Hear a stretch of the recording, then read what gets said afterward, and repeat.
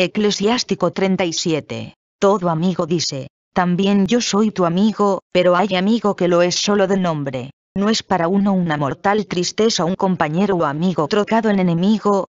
Oh intención perversa. ¿De dónde saliste para cubrir la tierra de engaño?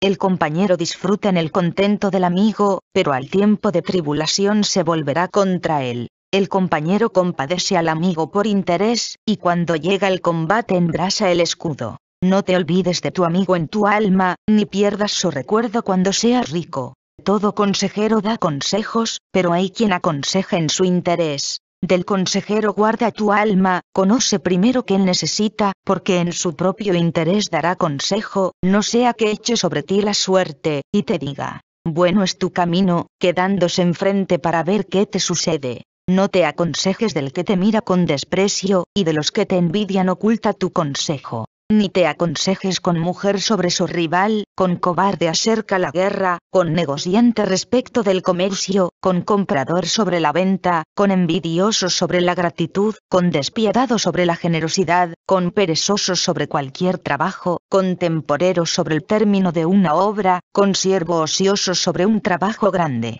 No cuentes con estos para ningún consejo si no recurre siempre a un hombre piadoso, de quien sabes bien que guarda los mandamientos, cuya alma es según tu alma, y que, si caes, sufrirá contigo. Y mantén firme el consejo de tu corazón, que nadie es para ti más fiel que él. Pues el alma del hombre puede a veces advertir más que siete vigías sentados en lo alto para vigilar, y por encima de todo esto suplica al Altísimo, para que enderece tu camino en la verdad. Principio de toda obra es la palabra, y antes de toda acción está el consejo. Raíz de los pensamientos es el corazón, de él salen cuatro ramas. Bien y mal, vida y muerte, mas la que siempre los domina es la lengua. Hay hombre diestro que adoctrina a muchos, y para sí mismo es un inútil. Hay quien se hace el sabio en palabras y es aborrecido, y que acabará sin tener que comer pues no se le dio la gracia que viene del Señor, porque estaba vacío de toda sabiduría.